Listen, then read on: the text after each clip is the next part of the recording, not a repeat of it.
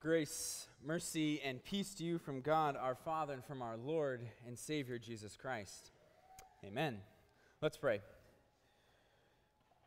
Lord, may the words of our mouth and the meditation of our heart be acceptable in your sight, O Lord, our rock and our Redeemer. Amen. The disciples asked, Who then is this? Disciples asked this about Jesus, and we are still asking it today. Who is Jesus? What has he done? What does he mean to you? Why is any of it important? Why does this man who lived 2,000 years ago still have influence today? Why does this man who was born a long time ago, why do we orient all, all time of civilization around his birth and his death? Why do people gather every single Sunday and worship his name? Why do people put their hope into him? Who is this Jesus? It's a question that we answer as a church. It's a question that we all answer individually too. It's a question that maybe we have had to give an account for to somebody else. Who then is this Jesus? Throughout the Gospel of Mark, uh, it's really cool actually if you go through it. The people throughout the whole Gospel are actually asking this question in different ways and in different times, but they keep asking this question and they don't really get a full picture or a, or a complete answer. You notice our reading today then just leaves with this cliff, cliffhanger. Who is this that even the wind and the sea obey him? Who is this who controls creation?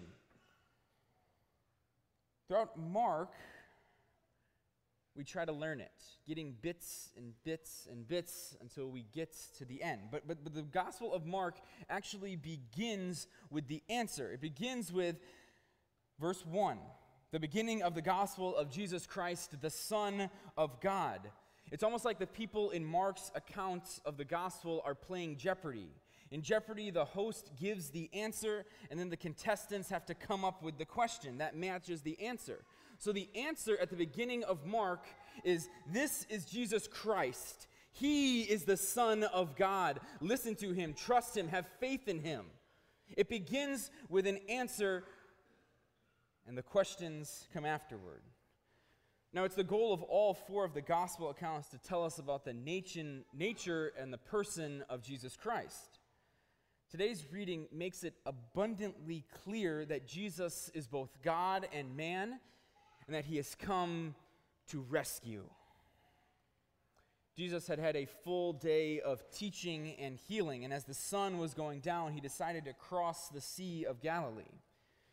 And once they were on their way, Jesus decided to take a nap. He had been teaching, attending to the needs of all the crowds all day. He was tired, his human nature. So he fell asleep in the stern of the boat. And then the storm struck and it was bad.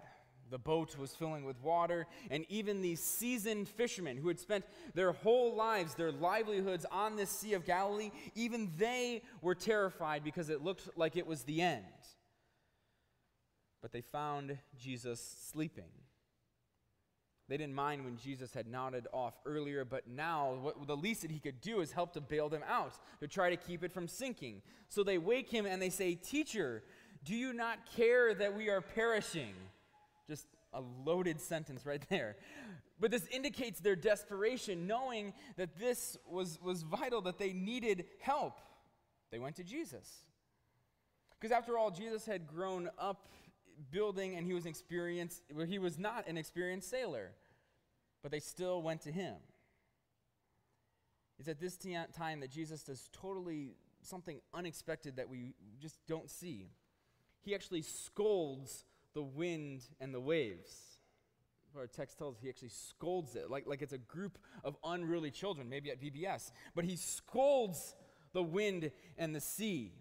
Peace, be still. And it happens. The wind ceases, and there was, and there was a great calm. Who then is this? Who is this Jesus? He is, he is Lord of all. Lord over the wind and the sea. He is God's own very Son. He is the calmer of chaos and the one who has defeated sin in this world. He is our rescuer. N.T. Wright talks about in his commentary, in his, in his book about the Gospel of Mark, he sees the whole Gospel of Mark as the one who comes. Jesus is coming. The kingdom of God drawing near. This kingdom of God has come into this world and it is drawing nearer and nearer in the person of Jesus Christ as we learn more about him. He says that Jesus calls and that he heals, he forgives, he corrects, he persuades, he teaches. He does this all throughout the Gospel of Mark. He is answering this question of who he is. But his own disciples still do not understand, and they still are asking the same question. We may be asking the same question today. Maybe not from a position of strong faith, but maybe of, of a faith that is beaten and broken like the boats in the Sea of Galilee. Maybe we are asking that question today because we have maybe something on our mind, something on our conscience that we can't get off, and we keep coming to God and we don't seem to get that answer. We keep asking, Who then is this Jesus?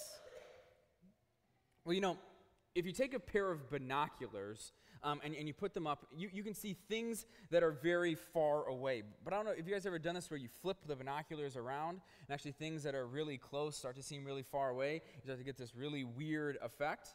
Well, I think that's what we need to do with our text today. We need to flip the binoculars around and we need to take our text of what is close and we need to see the bigger picture.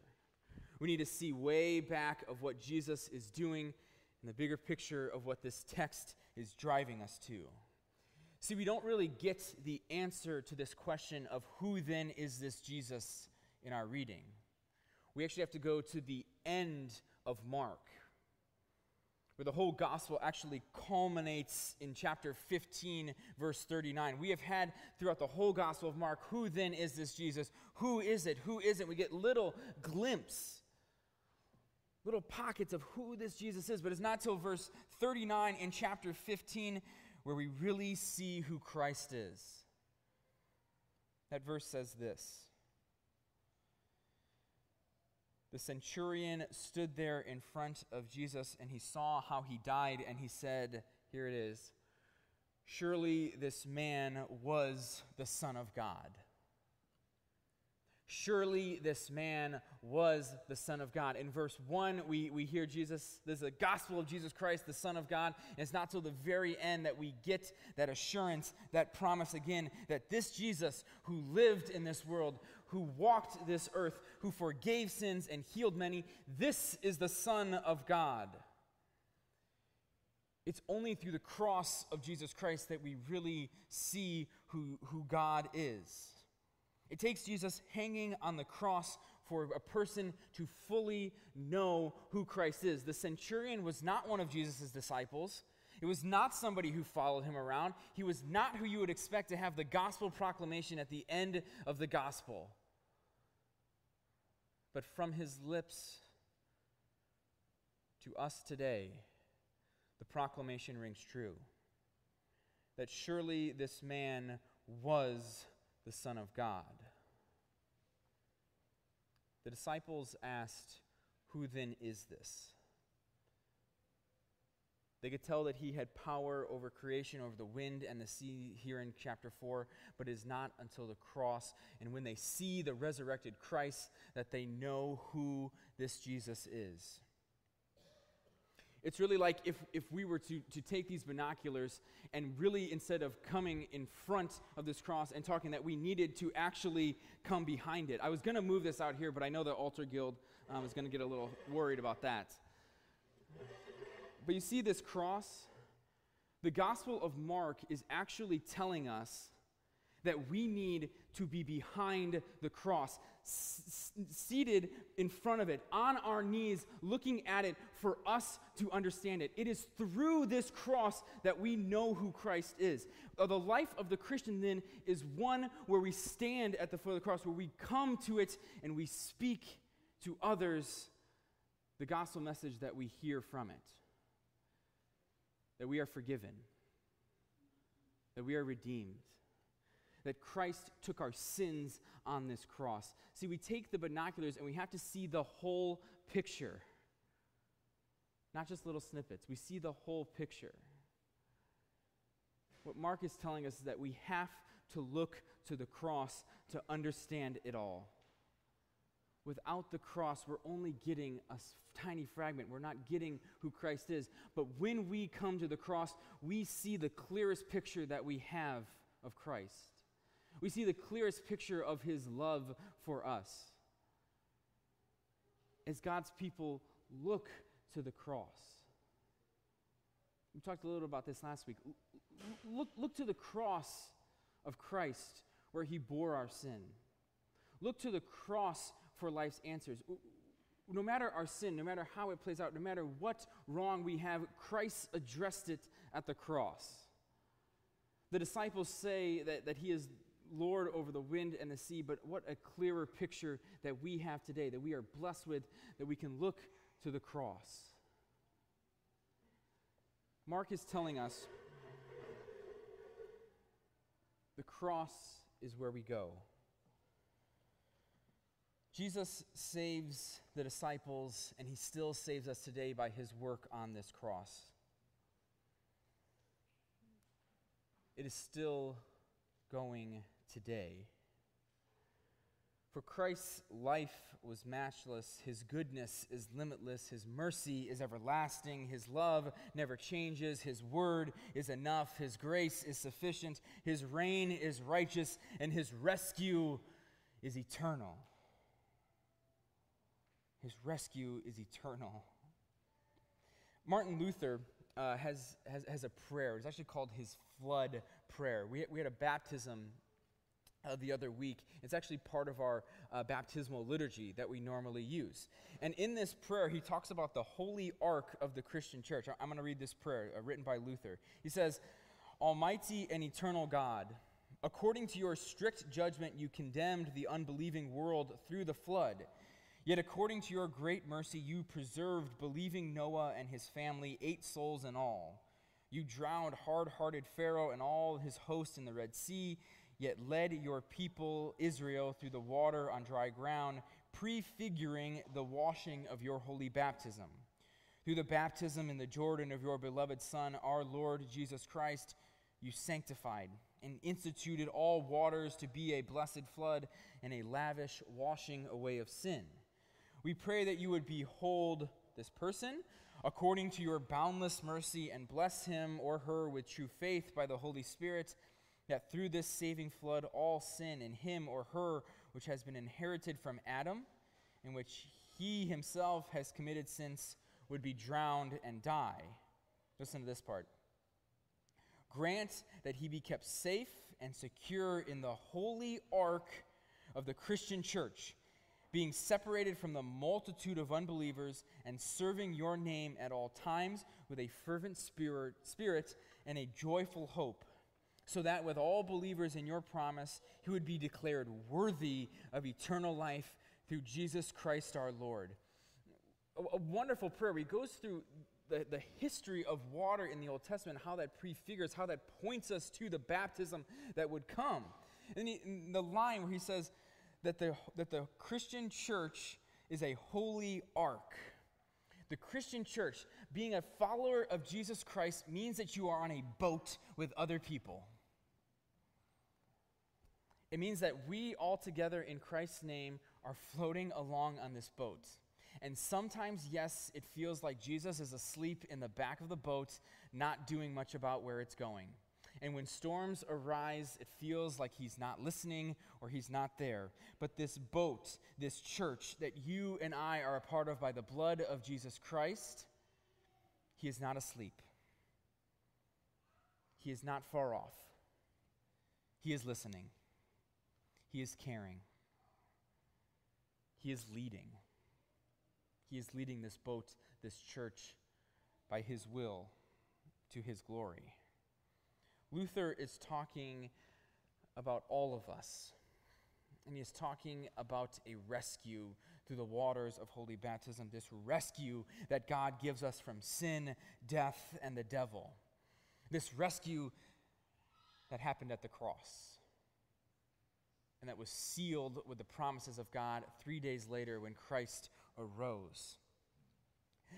This past week for VBS, we um, on the second to last day, we went and um, there was a, the Bible activity where, where kids each got a, a, dirty rag and they were to put it on the cross and to think about a sin in which they had committed and how God had forgiven them that sin. This rag that they put up there was forgiven.